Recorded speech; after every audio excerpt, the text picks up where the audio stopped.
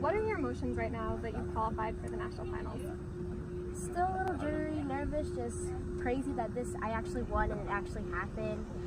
And I'm like super excited right now. So What is it like having your family here? Your sisters competed in Drive Chip and Putt with you. You guys have done it before.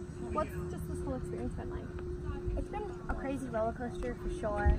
Um, winning, losing, upset, um, happy, just everything. It's crazy just to know that I am like the first one in my family to go to Augusta National and they're all rooting for me and I'm so happy that they're all here to see like what happened today and just everything. That's really exciting. So, what was the best part about today?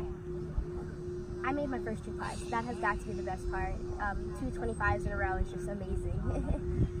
What have you been working to this point? drive, chipping, and putting. Just everything, just about it. I have to make sure I hit my drives long enough. My chips have to be on point in the correct direction. My line, just everything. My putting, the exact distance that I'm going for, and just everything I need to know, and just my emotions especially that I need to keep intact. For sure.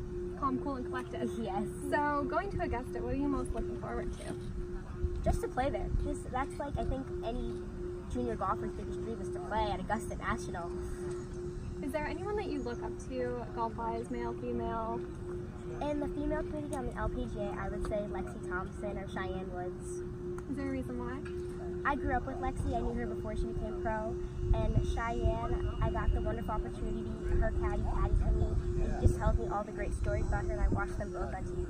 That's really cool. So I heard that you are not new to TV. Tell me a little bit about that experience. I used to be on the TV show The Short Game. It was a reality TV show. It was very interesting, but I got to meet a bunch of other young golfers that are also like really well trained, just great people, and it's just really fun.